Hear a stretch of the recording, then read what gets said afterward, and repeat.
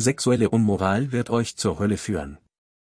Montag 19. April 2011, 23 Uhr und 50 Minuten.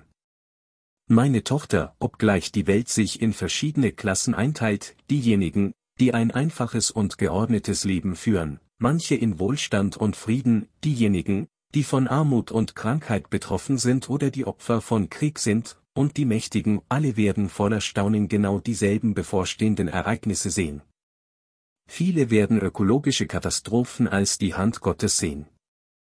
Andere werden sagen, dass sie ein Zeichen der Endzeit seien, während wiederum andere sagen werden, dass es alles mit der globalen Erwärmung zu tun habe. Aber, was jetzt in dieser Zeit am wichtigsten ist, ist, Folgendes zu verstehen.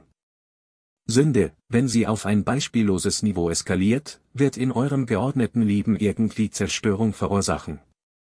Aber wenn sie sich zu dem gegenwärtigen Niveau verschärft, wie es von euch allen in der Welt heute erfahren und gesehen wird, dann könnt ihr sicher sein, dass bei solchen Katastrophen die Hand Gottes am Werke ist. Gott, der ewige Vater, hat bereits reagiert und auf diese Weise gehandelt. Jetzt, da die Zeit naht, Satan und seine Anhänger zu vernichten, werden von Gott in seiner Barmherzigkeit weitere ökologische Unruhen entfesselt werden, er wird dies tun, um Satan und all seinen verdorbenen menschlichen Marionetten vorzubeugen, die geifern bei der Aussicht auf Reichtum und Ruhm, die er ihnen durch seine psychologischen Kräfte verspricht. Satan flößt böse Gedanken und Aktionen in Seelen ein, die schwach genug sind, sich seinen vereinnahmenden Kräften auszusetzen. Solche Menschen haben gemeinsame Merkmale. Sie sind egozentrisch, besessen von weltlichen Ambitionen und Reichtum und sind sexuellen Perversionen verfallen und machtsüchtig. Alle werden in der Hölle landen, wenn sie der Verherrlichung des Antichristen folgen, der dabei ist, sich in der Welt bekannt zu machen. Viele arglose Menschen glauben nicht an Satan, an den Antichristen oder gar an Gott, den Vater, den Allmächtigen. Also schließen sie die Augen. Doch sie wundern sich, warum die ganze Gesellschaft, in der sie leben, zusammengebrochen ist. Sie verstehen nicht die beängstigende Geschwindigkeit bei dem Zusammenbruch der traditionellen Familieneinheit. Sie führen dies auf die Übel der modernen Gesellschaft zurück. Was sie nicht wissen, ist, dass Satan an erster Stelle auf die Familie abzielt. Das ist, weil er weiß, dass, wenn die Familie zusammenbricht, dann auch die Gesellschaft zusammenbricht. Viele wissen das, weil es in der heutigen Welt zunehmend offenkundig wird. Dann schaut auf die sexuelle Unmoral. Ihr seid erstaunt, wie schrecklich die Gesellschaft mit dieser Sittenlosigkeit verseucht worden ist. Wieder einmal ist, was ihr nicht erkennt, Satan für jede einzelne Handlung obszöner Unmoral in der Welt verantwortlich.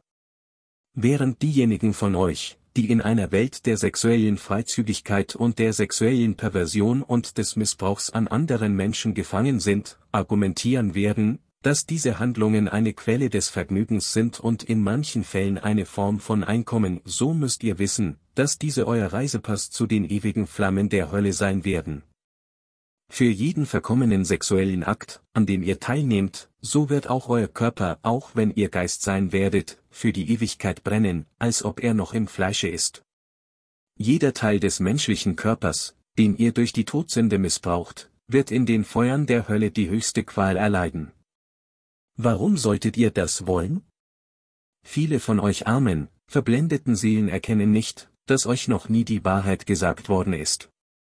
Die Wahrheit, dass es den Himmel, das Fegefeuer und die Hölle gibt.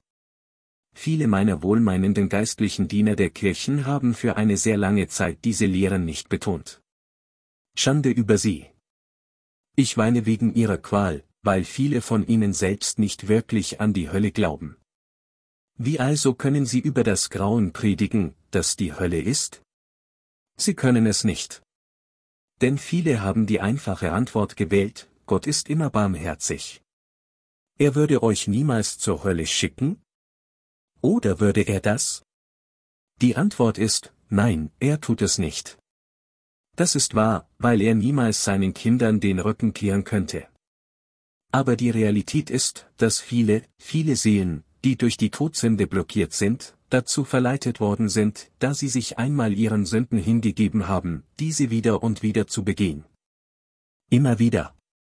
Sie befinden sich in so tiefer Finsternis, behaglich in ihrer eigenen Unmoral, dass sie fortfahren, diese Finsternis sogar nach dem Tod zu wählen. Sie können dann nicht gerettet werden. Sie haben diesen Weg gewählt aufgrund ihres eigenen freien Willens, ein Geschenk Gottes, in den er nicht eingreifen kann.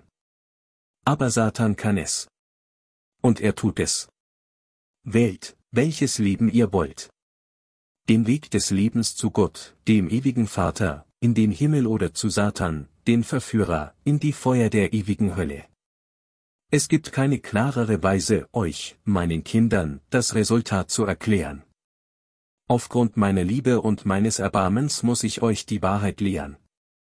Diese Botschaft ist dazu bestimmt, euch irgendwie aufzuschrecken, denn wenn ich euch nicht zeigen würde, was ihnen bevorsteht, würde ich meine wahre Liebe für euch alle nicht offenbaren. Es ist Zeit, der Zukunft ins Auge zu sehen, nicht nur für euch selbst, sondern auch für die Freunde, für die Familie und für geliebte Menschen, die ihr durch euer eigenes Verhalten beeinflusst. Verhalten bringt Verhalten hervor. Arglose Menschen können euch unbewusst lenken und leiten, auch auf den Weg zur ewigen Finsternis, durch Unwissenheit. Kümmert euch um eure Seele. Sie ist ein Geschenk Gottes. Sie ist alles, was ihr in die nächste Welt mit euch nehmen werdet. Euer Erlöser Jesus Christus,